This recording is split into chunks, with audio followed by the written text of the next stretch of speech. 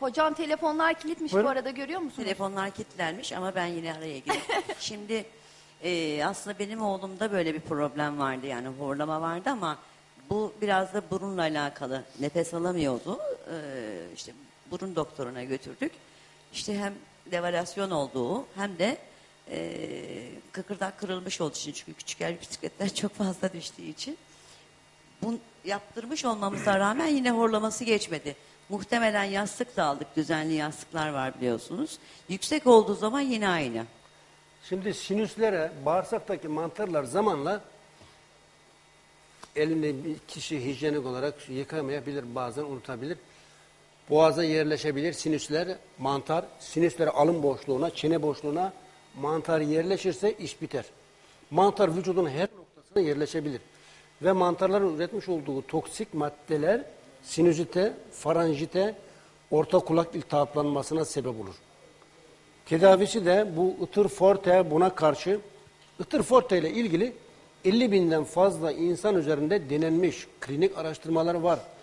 Bunu ilk keşfeden kişi Af, e, İngi- İngiliz asıllı bir subay Güney Afrika'da askeri görevini yaparken hastalanmış böylece ortaya çıkmış.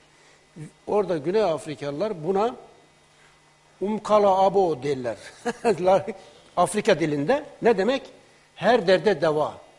Güney Afrika Bizde dilinde. de var ne diyorlar bizde hocam? Bizde ıtır mı diyorlar? Bizdeki ıtır farklı. Bizdeki ıtır büyük ıtır. Sivrisinek otu da denir ona. Sivrisinek ona yaklaşmaz. O bizdeki Peki neden farklı. bizim Türkler keşfetmiyor da başkaları keşfediyor hocam bunu? Yetişmiyor ki bizde keşfetsin. La ilahe illallah. hocam telefonumuz varmış. Alo. Alo, Buyurun efendim. ben Sebahattin Çoltoğlu. Buyurun.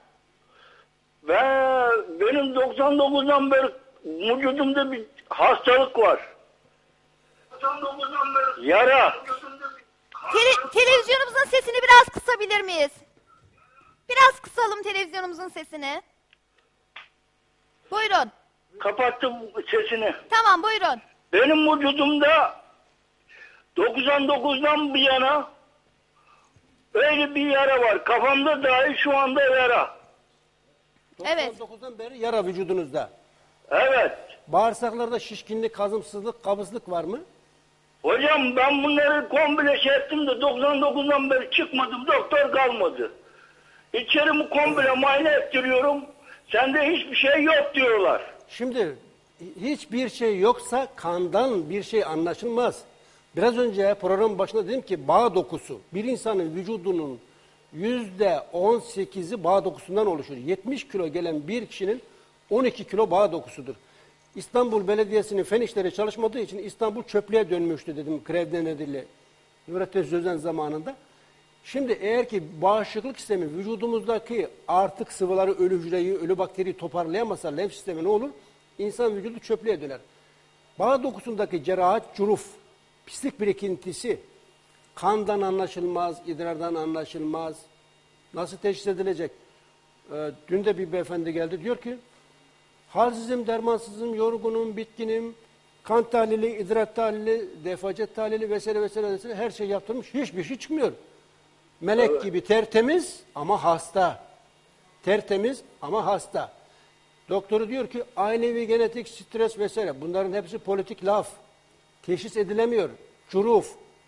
Yani bağ dokusundaki cerahat curuf teşhis edilemiyor. Dilinize aynanın karşısına geçin dilinize bir bakın. Dilinizin üzerinde anlaşılır. Beyazımsı bir tabaka varsa dilinizin üzerinde mantar var. Sarımsı bir tabaka varsa çok mantar var. Kahverengimsi bir tabaka varsa çok çok mantar var. Kızarmışsa aşırı mantar. Dilinizden mantar olup olmadığı enfeksiyonun sebebi anlaşılır.